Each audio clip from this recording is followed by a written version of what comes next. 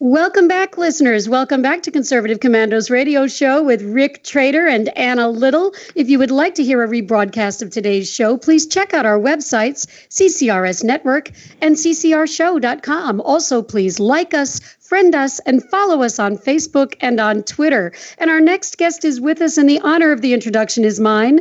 Matthew Vadum is a senior vice president at Capital Research Center, a conservative think tank in Washington, D.C. Vadum's work has been cited by Fox News, WND.com, Weekly Standard, Wall Street Journal, USA Today, Christian Science Monitor, and many other media outlets. Matthew's an award winning investigative journalist with a lively, witty writing style, and he's a appeared on many television stations, including Daily Show, CBS Evening News, O'Reilly Factor, Your World with Neil Cavuto, Laura Ingraham Show. The list goes on and on. Matthew Vadum, welcome back to Conservative Commandos Radio Show. Hey, thank you. Well, thank you. Thank you so much for taking the time to be with us. I'm pretty excited about this title you have here uh, Ocasio Cortez, quote, Capitalism won't always exist, the Democrats' new folk hero gives a very revealing interview. And this is an article written by you. Looks like it was at Front Page Mag. Tell us, what were you writing about here? Well, it's an interview that the uh, the new um, uh, wonderkind of the um, of the left, uh, the new folk hero, Alexandria uh, Ocasio. Um, uh, I don't know if I'm pronouncing that right. Apologies, sir, if I'm not. Uh, Ocasio uh, uh, is uh, Ocasio Cortez. Sure, I had to actually look at it. Um, the, she won the um, primary. She beat Joe Crowley, the number four Democrat in the House of Representatives, and um, she's a member of the Democratic Socialists of America. The DSA endorsed her, so she is a socialist, Marxist, small c communist, whatever you want to call her. And she gave an interview where she wouldn't commit to maintaining uh, markets, to maintaining, to keeping capitalism as the um, uh, the economic system uh, of the United States, and I thought that was disturbing. So uh, I wrote about it, and um, uh, she's well on her way because she's won uh, the primary in a place where you know the Democrat all you know goes on to win uh, invariably the the general election. She's an incoming uh, congresswoman who will you know take off and take office in January, and she's not committed to America's um, largely free market system, and that that ought to scare people. And this kind of thing is taking over the Democrat Party um, at the moment, and uh, people need to know about it. Yeah, you know, she is quite frankly uh, frightening. She she said that capitalism is a fleeting phenomenon, and I guess she said that uh, to uh, it, someone at PBS. Um, and it and it seems like she thinks that in in history capitalism has not always existed and it won't always exist. I don't think that's an accurate description of of our history. I, I think capitalism has always existed, and I think it always will. But uh, what is your opinion with regard to that, Matthew? Well, I, you know, it's pretty hard to get rid of capitalism. If people have yeah. uh, capitalism, um, you know, started along several hundred years ago, depending upon how you define capitalism. Capitalism, uh, um, uh, you know, market-based economics got a boost once people um, no longer um, were were starving. Once subsistence, subsistence farming uh, uh, went away, and people were able to produce a surplus that could be traded, um, people uh, had more money, and um, the standard of living overall in the society went up uh, dramatically. This is starting a few hundred years ago, um, and this is uh, capitalism, uh, even though in its earlier uh, earliest uh, iterations, it kind of looked more like mercantilism. You know, monopolies uh, being enforced by by various um, um, uh, you know national governments against monopolies in other countries. You know, it gets kind of weird and and uh, and uh, uh, obscure. But but the point is that as long as people have had the ability to produce surpluses and to trade, there has been capitalism. Um, and what gave people these surpluses that they were able to trade and, and thereby make themselves and society wealthier in the process? Freedom, economic freedom. And this um, uh, uh, soon to be Congresswoman um, has no, uh, you know, didn't wouldn't commit to being able to continue um, uh, to uh, advocate a government that respects our economic freedoms, and that's that's worrisome. Well, you know, I'd like to bring in a into this conversation a, a comparison, perhaps, between this socialist ideal that this um, candidate for Congress is espousing, the way that the American government operates, and and I, I would like to contrast that in some way because it seems to me that a government that is by and for the people and directed by the people cannot, by definition, be the kind of socialist government that she's describing. And and if that's true, well then what does she intend with regard to our form of government? Now, would you like to comment on that at all? Well, I don't know that she. I, I don't know that these um, people, these Democratic Socialists of America people, have a firm idea of what they want to replace uh, the current system with. Some want, um, you know, an, a dictatorship of the proletariat, as Karl Marx called it, where everything is run by workers, uh, and others want just, you know, the state, the government, to to to administer the economy uh, directly and make all economic decisions. So uh, it's kind of hard to pin them down because they don't like to be pinned down on these questions. So I, am not sure what she wants, but I know that it's something that most Americans would not like. They would not like their economic freedoms being taken away. Well, that is where I'm headed with this because, quite frankly, I, I, I, can't see Americans throwing away our form of government for anybody. Um, you know, they may be unhappy with the economics of a, of a certain uh, presidential administration. They may be unhappy with the dysfunctional uh, manner in which Congress operates for any temporary period of time. But I do not think that the large majority of Americans think that our form of government is failing in some way. So, Matthew, I, I wonder.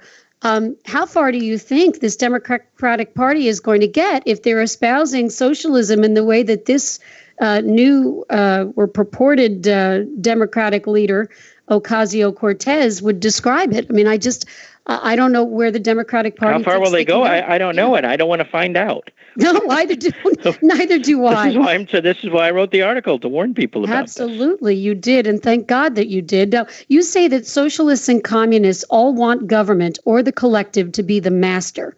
I'm so glad that you put it that way because that's exactly what socialism does. It creates a master servant or master slave relationship between the government and the people. It's a really bad concept.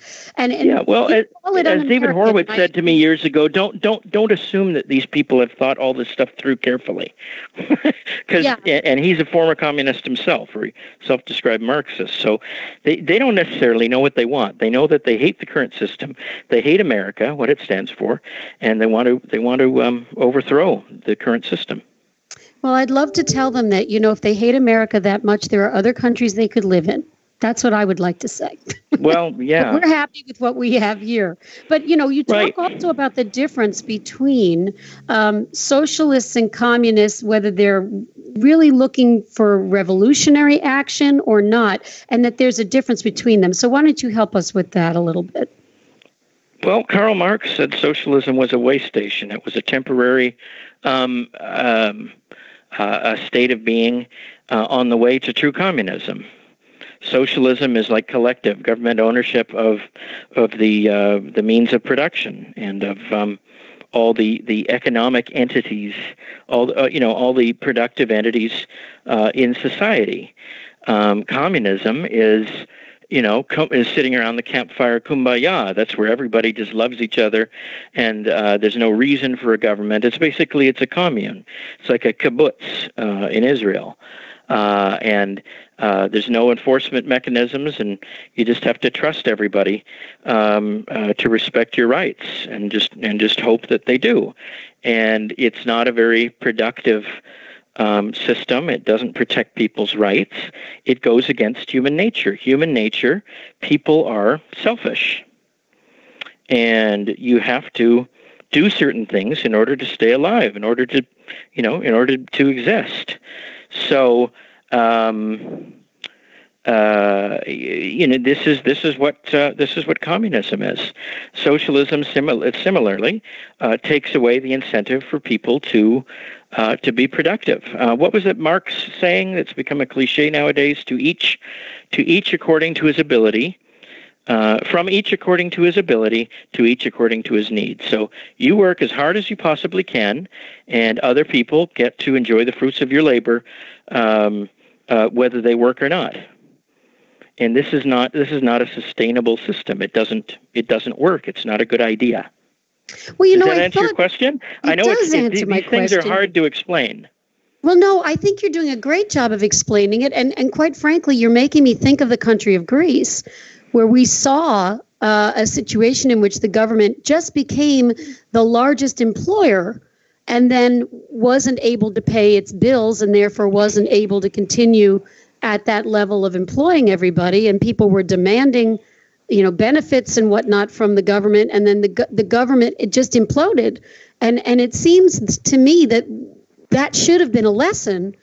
And uh, unlike um, I guess those of us who see it that way, um, these folks are still thinking that they can get elected, saying they're going to hand people free stuff, and and apparently in this particular primary, Democrats in a majority in that district believed her.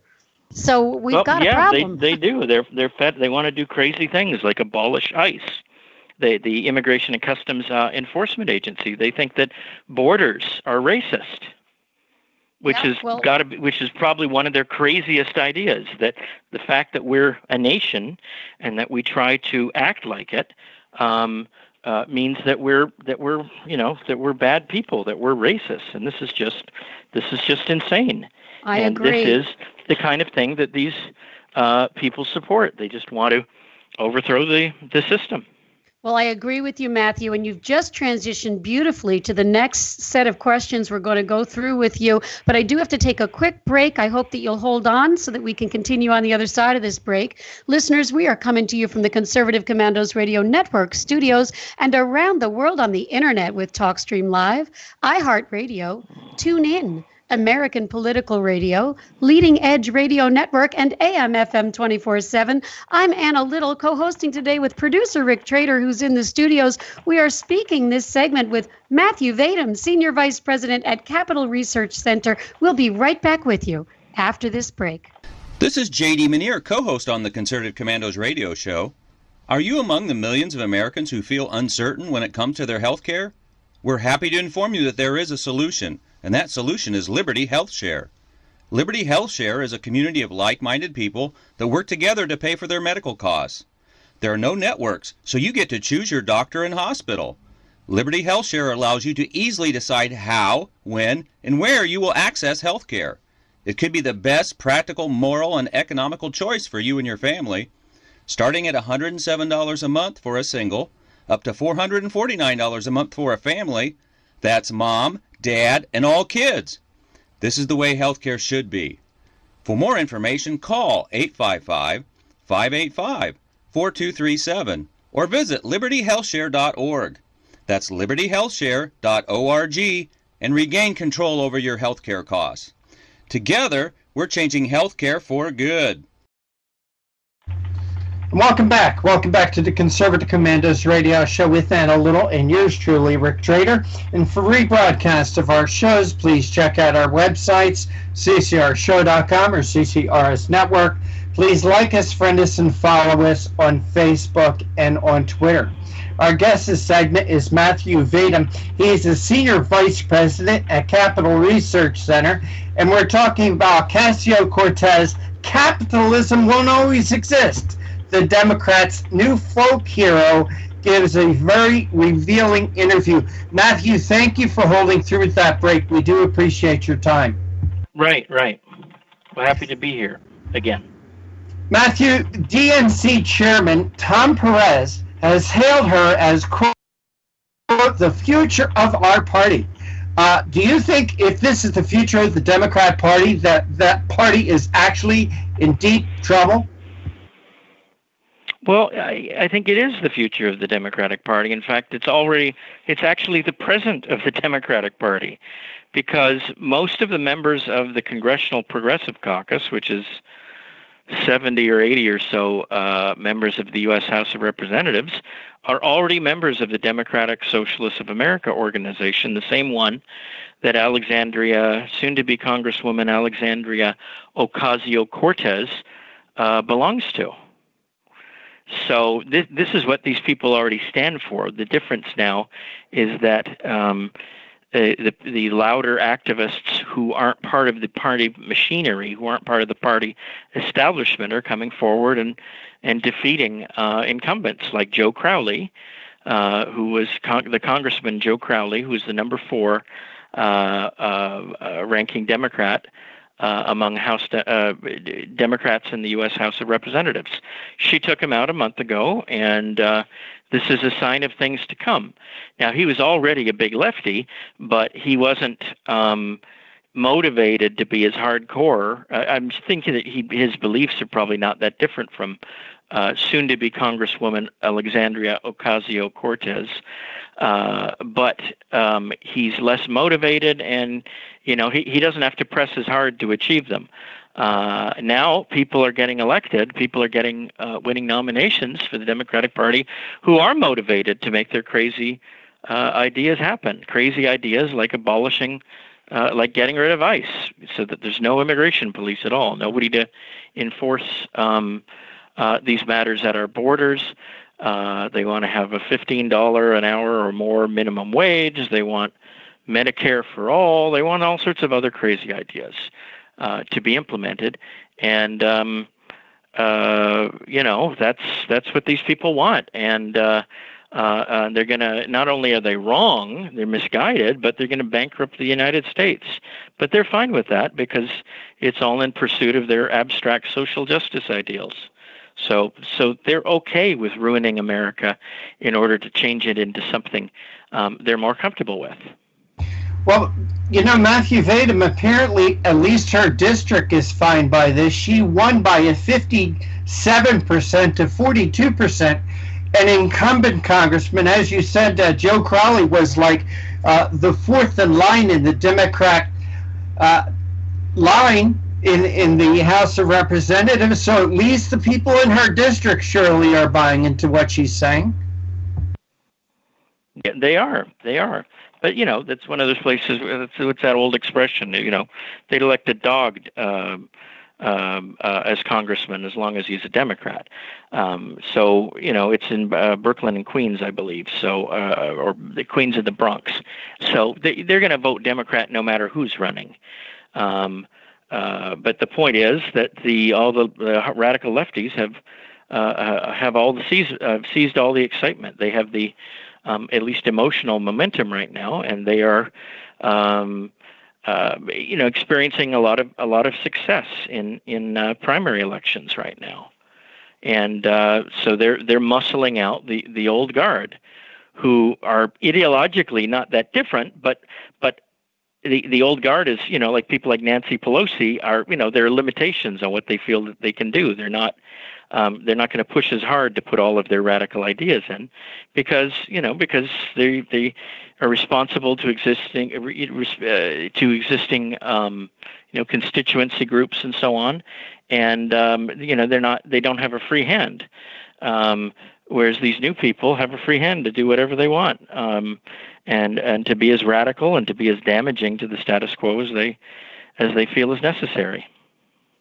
Matthew Vadum, what else can you tell us about this this DSA, this small C communist group? Well, they reportedly have 45,000 members, and a lot of them are academics, and uh, you know, like Frances Fox Piven, um, the the Marxist uh, academic and activist, um, responsible for the Cloward-Piven strategy in the 60s to bankrupt uh, state and local governments in order to bring about a collapse of, of um, the government, leading into, you know, a, a, much bigger government control over everything. Um, and it is one of these groups that you've never heard of, but that is very important in um, among um, uh, the Democratic Party's um, uh, uh, far left wing. They're they're influential. They they throw their weight around, and when they when they say you know when they say things, things get done. You know things their their their, wishes are obeyed. I, for one, I would love to ask her if socialism is so great, why hasn't it worked in places like Cuba or Venezuela? You know, Venezuela, back in the 1960s, was like the third uh, largest economy in the Western world behind the United States and Canada.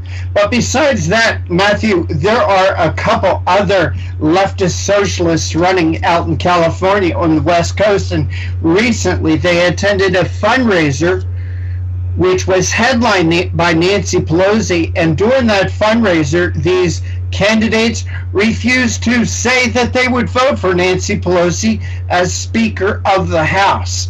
Uh, I think that not only Joe Crowley, but the rest of the Democrat leadership has a lot to worry about, don't you?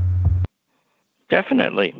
Definitely. They're being threatened uh, on their left flank by these people. And uh, these people don't have any any respect for them. They want to they want to push them out. Now, I'm not going to take a position on whether Nancy Pelosi should be pushed out. Uh, uh, I think it's good for Republicans that she stay in place, but um, you know, I'm not in charge of what happens in the Democratic Party. Uh, uh, they they want to get rid of everybody, everybody you know who's old line and uh, and who accepts um, certain. Um, the, you know the pieties uh, of the left that, that have been enforced for the last few decades. Now, the the emerging insurgent left is is uh, is crazy left, and they want they want to they want to do really really radical things, and um, um, they're going to alienate, they're going to uh, excite their hardcore supporters, I suppose the uh, the base of the um, of the Democratic Party, but they're not. I think they're going to have trouble outside of um, the places where they're strong at getting new uh, new recruits and getting new new voters, um, you know, moderate voters to support them. Uh, people aren't going to want to vote for a crazy anti-American party. Matthew Vadum, what does this say in your way of thinking? What does this say for the this blue wave, this Democrat blue wave that's supposed to come through in in 2018? Uh, well, I don't know if it's going to happen. I know traditionally the party that controls the White House um, uh, takes a drubbing usually in uh, in off-year congressional elections, like we're about to have in November. Uh, but uh, every once in a while, they don't. Um, and and right now, the the Democrats are behaving so irresponsibly, so radically, um, and they're turning people off. The question is, is that going to be enough to help Republicans keep um, control of Congress. In the Senate, there's a, a lot of Democrats uh, are in a really weak position. A lot of the Democrats up for reelection in the Senate in 2018 are in uh, uh, red states that Trump uh, won, in some cases, really, really easily. Um, and uh, uh, the House, where there's a margin of what a couple of dozen. I, am sorry, I don't cover the, the, the exact details of the, the horse race really, really closely. But um, I know that the, the Republicans have a healthy margin in the House, but it could easily be wiped out. Um, you know, if things, if a few percentage points uh, turn against them. So, you know, you could have a situation whereby the Republicans' um, uh, control of the House is uh, is uh, weakened, but they're still in control. I don't, I don't Matthew know. Vadum. I, don't know. Yeah. Matthew yeah. Senior Vice President at the Capital Research Center. We want to thank you for joining us here on the Conservative Commandos radio show. Please tell our audience how they could follow your work. Uh, well, here at capitalresearch.org. Uh, capitalresearch.org, that's where I work, Senior Vice President.